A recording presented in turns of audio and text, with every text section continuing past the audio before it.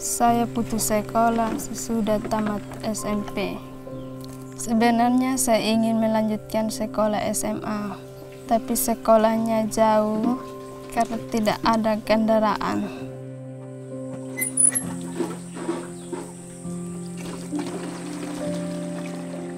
Anak-anak sih sebenarnya sangat baguslah dalam mau menerima pendidikan.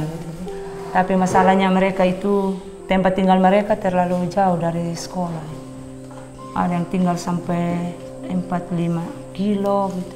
Bahkan ada yang tinggal dengan orang lain yang menumpang ibu karena jarak dari sini ke tempat tinggalnya 9 kilo. Jadi terpaksa harus numpang di keluarga.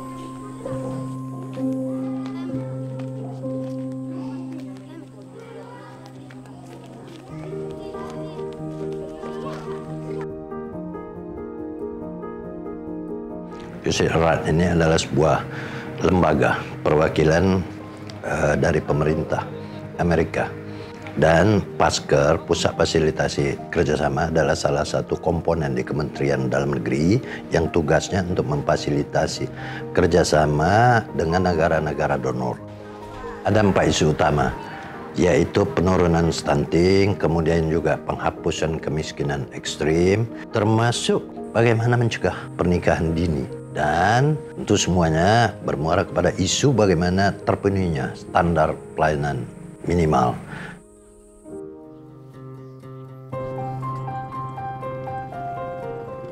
Kalau yang kita lihat sebenarnya di desa-desa ini, bagaimana masyarakat-masyarakat ini sebenarnya mau keluar dari kondisi itu, mereka masih keterbatasan beberapa aspek. Sumber daya manusia terbatas, sumber daya alam juga terbatas, akses kesehatan dan pendidikan juga mereka masih kurang, akses air bersih juga mereka masih kurang. Itu yang membuat sebenarnya masyarakat di desa itu sangat miskin sekali. Dari sisi akses layanan air bersih, kami memang saat ini baru pada posisi 72% lebih. Artinya bahwa dari sisi masyarakat kami masih banyak yang tidak mendapatkan akses air bersih.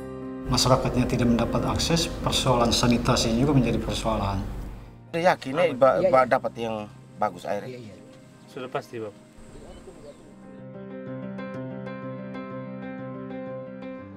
USAID RAT saat ini lagi membantu Bapeda.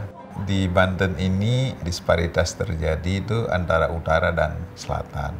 Masih banyak hal yang kita harus mengejar ketertinggalan kita, baik masalah pendidikan, kesehatan, terutama dalam pelayanan publik, agar disparitas utara selatan ini segera terselesaikan.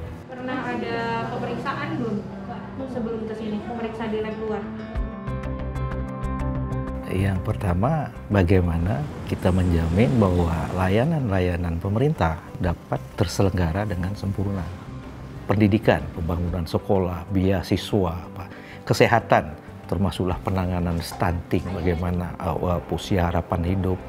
Penyebab stunting ini juga terkait dengan di mana SDM kita yang juga masih perlu terus ditingkatkan, tingkat literasinya,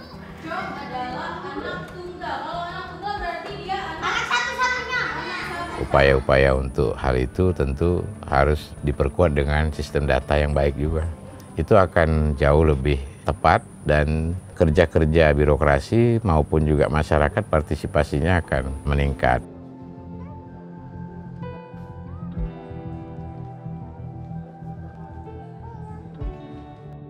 Kami sudah bekerja sama berkolaborasi dengan USAID Erat dalam pelaksanaan peer-to-peer penurunan stunting di Provinsi Kalimantan Barat. Peer-to-peer artinya kita belajar kepada sesama ya dari rekan-rekan kita yang lebih dahulu berhasil. Banyak hal yang saya pelajari di sini, jadi praktek-praktek baik yang sudah dilakukan oleh Jawa Tengah, Jawa Timur, ya bisa dimanfaatkan mungkin nantinya bisa diadopsi di kabupaten kami. Membangun Sumba Timur memang konsep kolaborasi menjadi penting.